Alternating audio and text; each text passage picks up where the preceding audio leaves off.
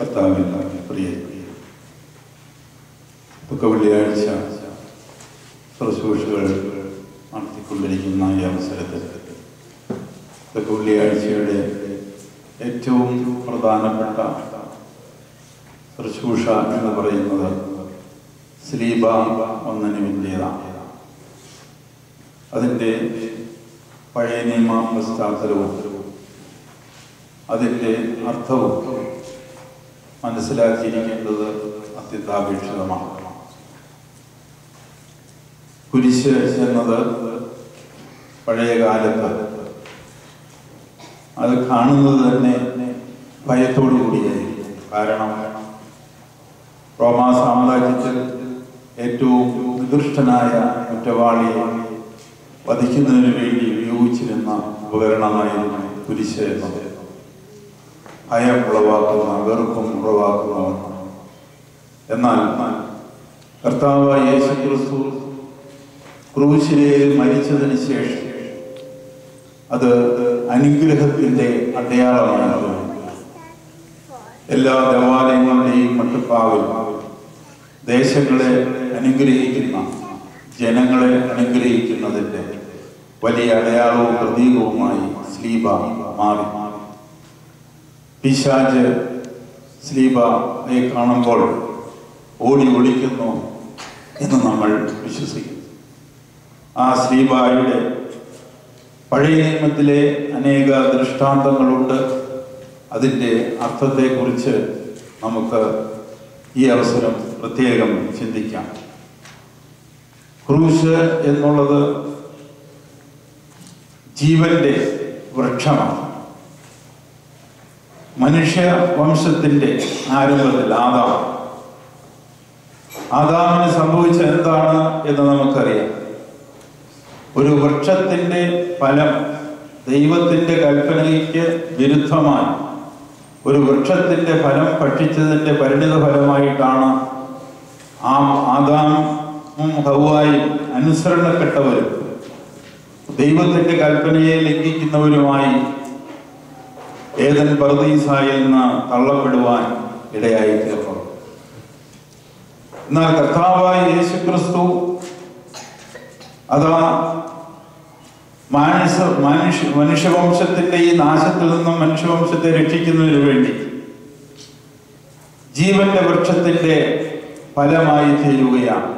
ശ്രീവ എന്ന് പറയുന്നത് വിശ്വാസിയെ സംബന്ധിച്ചിടത്തോളം ജീവന്റെ വൃക്ഷമാണ്.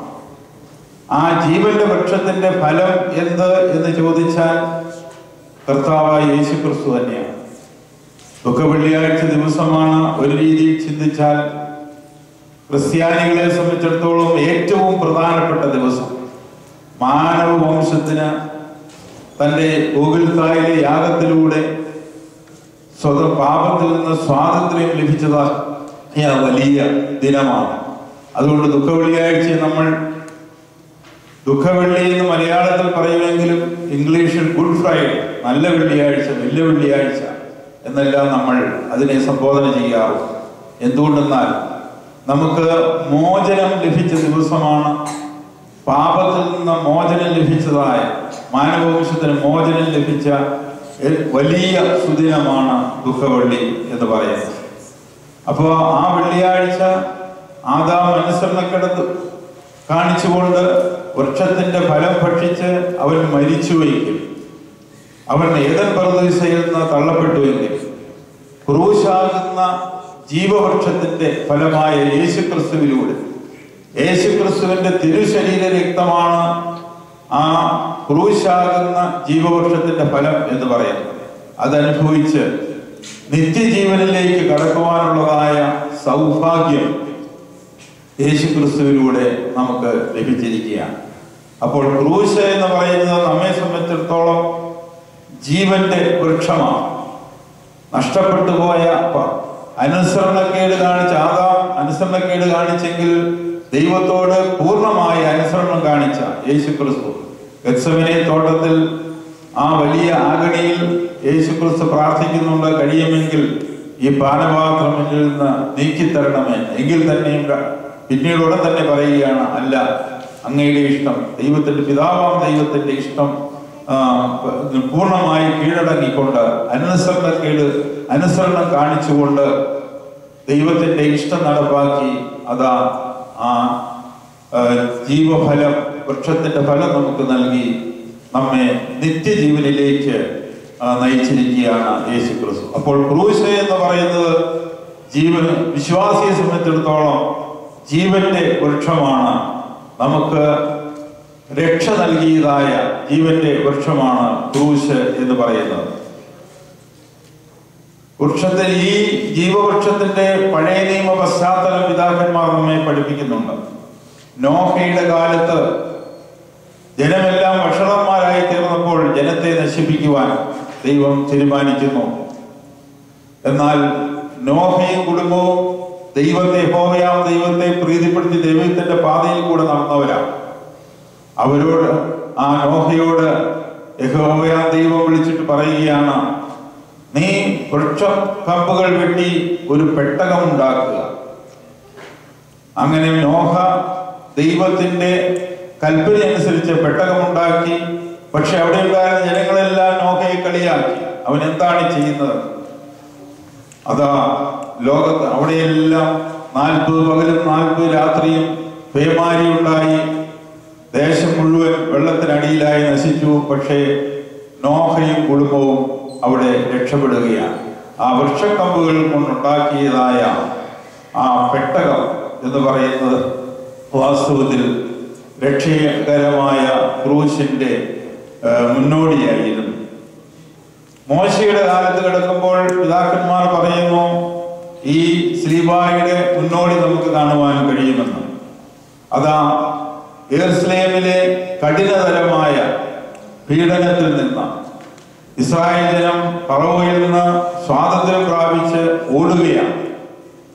അങ്ങനെ അവർ ചെങ്കടലിന് അടുത്ത് വന്നപ്പോൾ അതാ ഫറവോന്റെ സൈന്യം അവരെ പിന്തുടരുന്നു. അവരെ പിടിച്ച് തിരിച്ചു കൊണ്ടുപോകാനായിട്ട് പിന്തുടരുന്നു.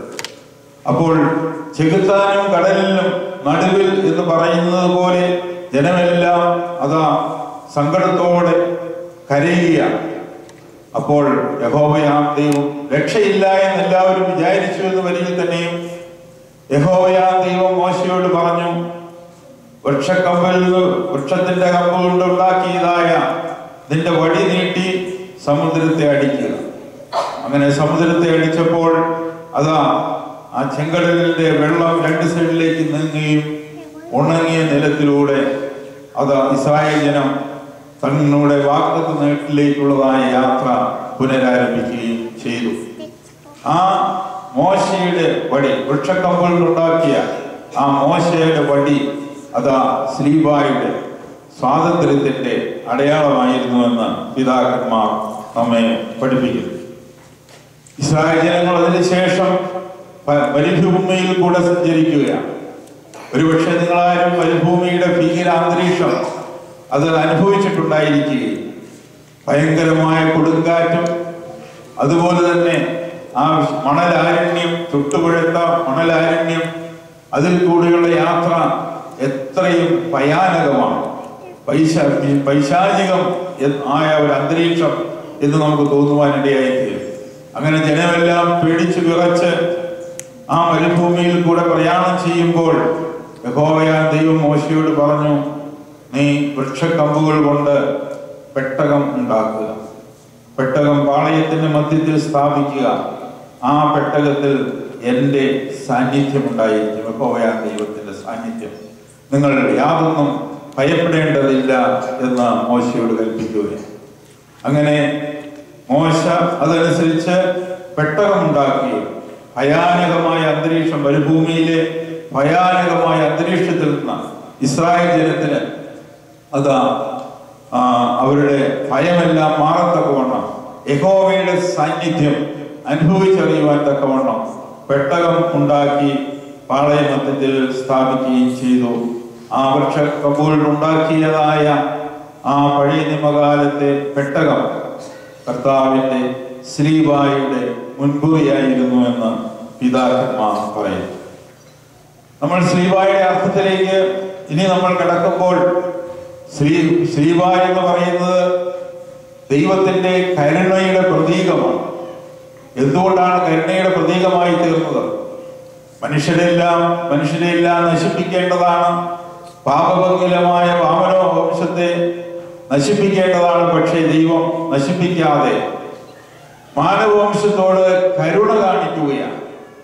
കരുണ കാണിച്ചത് എപ്രകാരം തന്റെ ഏകജാതനായ പുത്രനെ ഈ ലോകത്തിലേക്ക് അയച്ച് സകല ജനത്തിനും വേണ്ടി ഏകജാതനായ പുത്രൻ ബലിയായി തീരുകയാണ് ഗോകുൽത്തായിലെ കുരിശിൽ ബലിയായി തീരുകയാണ് യഹൂദന്മാരെ സംബന്ധിച്ചിടത്തോളം പാപപരിഹാരം ലഭിക്കുന്നതിന് കുഞ്ഞാടിന്റെ ദേവാലയത്തിൽ കുഞ്ഞാടിന്റെ തലയിൽ എല്ലാ മനുഷ്യ എല്ലാ ഇസ്രായേൽക്കാരുടെയും പാപങ്ങൾ ആവാഹിച്ചിട്ട് അതിനെ ബലി കഴിക്കുന്നതിലൂടെ പാപപരിഹാരം ലഭിക്കുന്നു എന്നവർ വിശ്വസിച്ചിരുന്നു. അതുപോലെ ഒരു പാപ ലോകത്തിന്റെ പാപത്തെ വഹിക്കുന്ന ദൈവകുഞ്ഞാടായി യേശു ക്രിസ്തു മാറുകയും ക്രൂശിൽ ബലിയായി തീരുകയും ദൈവത്തിന്റെ മഹാകരുണ മാനവവംശത്തോടുള്ള മഹാകരുണ ലോകത്തിന് പ്രത്യക്ഷപ്പെടുകയും ചെയ്തത് ക്രൂശിലൂടെയാണ്. കർത്താവ് ജന മാനവവംശത്തെ നശിപ്പിക്കാതെ അവരോട് കരുണ കാണിച്ചുകൊണ്ട് തന്റെ ഏകജാതനായ പുത്രനെ തന്നെ യാഗമായി അർപ്പിക്കുകയാണ് ഗോകുൽത്തായി അർപ്പിക്കുകയാണ് ചെയ്തത്.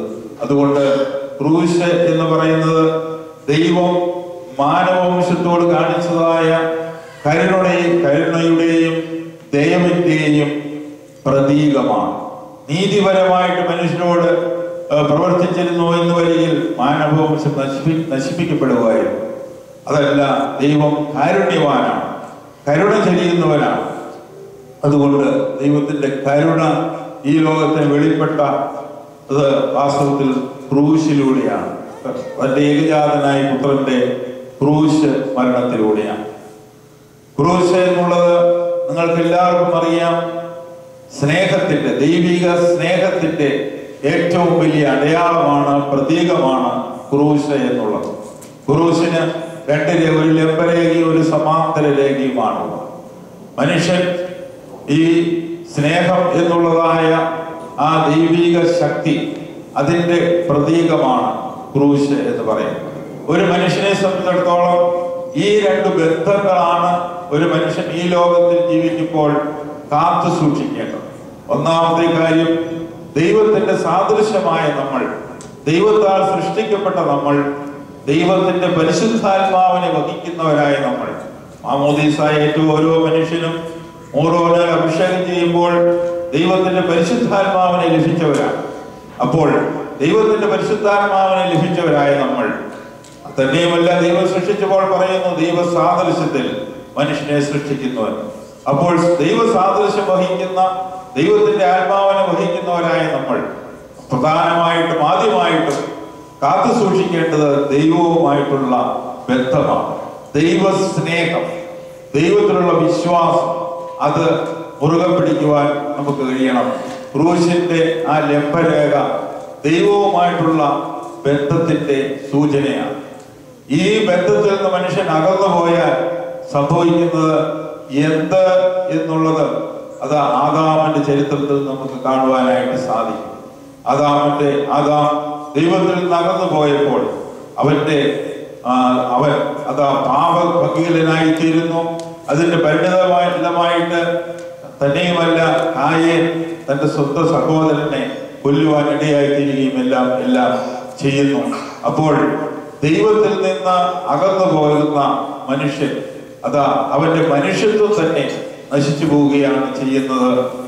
കാരണം നമ്മളെല്ലാം ദൈവ സാദൃശ്യമാണ്. ദൈവത്തിന്റെ ആത്മാവ് നമ്മൾ വസിക്കുന്നു. അപ്പോൾ ക്രൂശിന്റെ ആ ലംബരേഖ എപ്പോഴും നമ്മൾ ദൈവവുമായിട്ടുള്ള ബന്ധം മുറുകെ പിടിക്കണം.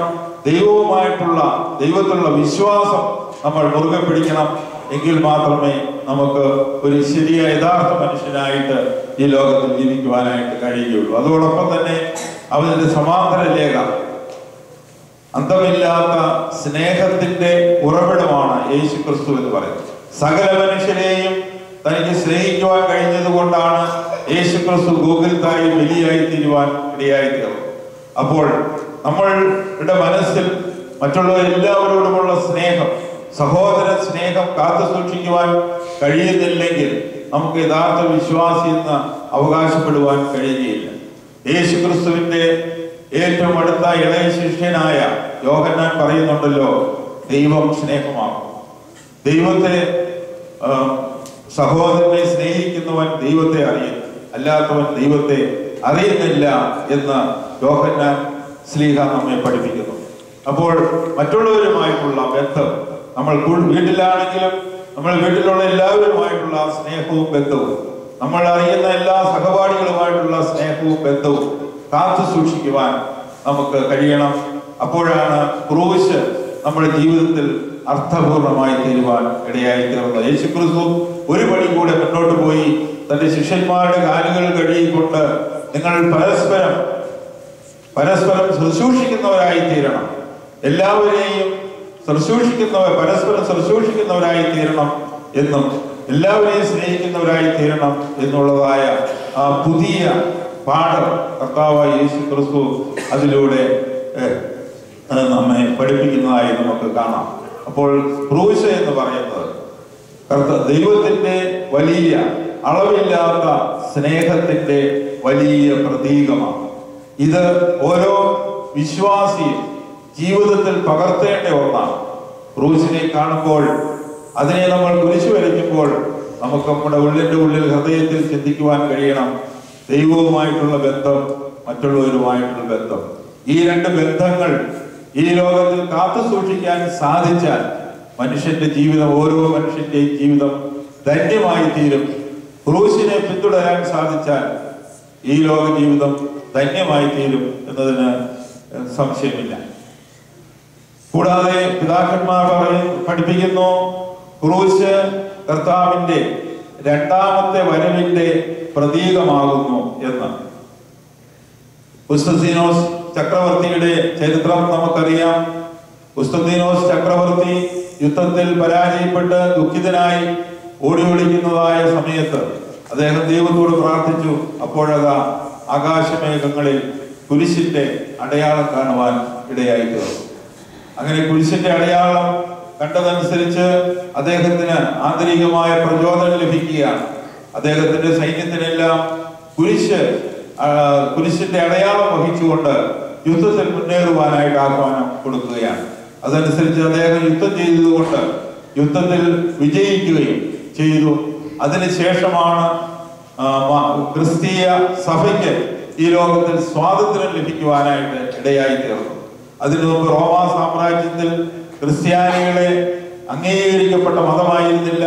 അതുകൊണ്ട് ക്രിസ്ത്യ വിശ്വാസികളെയെല്ലാം റോമ സാമ്രാജ്യത്തിൽ കൊന്നൊടുക്കുകയായിരുന്നു പതിവ്. ക്രിസ്തുസിനോസ് ചക്രവർത്തി കുരിശിന്റെ അടയാളം കണ്ടതിന് ശേഷം അതാ ക്രിസ്തീയ സഭയ്ക്ക് പൂർണ സ്വാതന്ത്ര്യം ലഭിക്കുകയും ക്രിസ്തീയ സഭ പിന്നീട് റോമാ സാമ്രാജ്യത്തിലെ ഔദ്യോഗിക മതമായിട്ട് പ്രഖ്യാപിക്കപ്പെടുകയും ചെയ്തു. പിതാക്കന്മാർ പറയുന്ന കർത്താവിന്റെ രണ്ടാമത്തെ വരവിനോടനുബന്ധിച്ച് കാണുന്നതായ അടയാളം കിഴക്ക് കുരിശിന്റെ അടയാളം കാണുവാൻ ഇടയായി തീരും അതായിരിക്കും കർത്താവിന്റെ രണ്ടാമത്തെ വരവിന്റെ അടയാളം എന്നാണ് പിതാക്കന്മാർ നമ്മെ പഠിപ്പിക്കുന്നത്.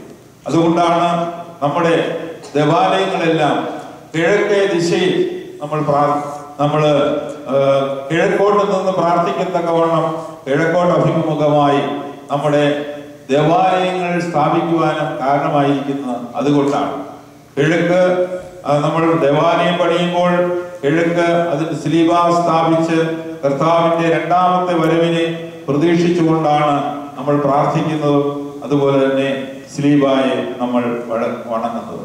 അപ്പോൾ ശ്രീബ എന്ന് പറയുന്നത് അത് വലിയൊരു പ്രതീകമാണ്. നമ്മുടെ ജീവിതവുമായി ബന്ധപ്പെട്ട ഒന്നാണ്. ആ ശ്രീബായുടെ പാതയെ പിന്തുടർന്ന് നമുക്ക് നമ്മുടെ ജീവിതം മുന്നോട്ട് കൊണ്ടുപോകാൻ കഴിഞ്ഞാൽ അതിലൂടെ നമ്മുടെ ജീവിതം ധന്യമായി തീരും എന്നുള്ളതിന് സംശയമില്ല. അപ്പോൾ ശ്രീബ ഇന്ന് നമ്മൾ ദുഃഖ വെള്ളിയാഴ്ച ദിവസം ഏറ്റവും ക്രിസ്തീയ വിശ്വാസി സംബന്ധിച്ചിടത്തോളം പാപത്തിൽ നിന്ന് മോചനം ലഭിച്ച ദിവസം. ജീവന്റെ വൃക്ഷത്തിന്റെ ഫലം നമുക്ക് ലഭിച്ചതായ ആ വലിയ സുദിനം. അപ്പോൾ ഇന്ന് ഭയഭക്തിയോടുകൂടി സിലിബായെ വണങ്ങിക്കൊണ്ട് സിലിബായുടെ അർത്ഥം നമ്മുടെ ജീവിതത്തിൽ പ്രാവർത്തികമാക്കിക്കൊണ്ട് നമുക്ക് ഇന്നത്തെ ശുശ്രൂഷയിൽ സംബന്ധിക്കാം ഇത് നമ്മുടെ ജീവിതം അതിലൂടെ ധന്യമായി തീരുവാൻ ഇടയായി തീരട്ടെ എന്ന് പ്രാർത്ഥിച്ചുകൊണ്ട് എന്റെ ഇടവാക്കുകളെ ഉപസംഹരിക്കുന്നു.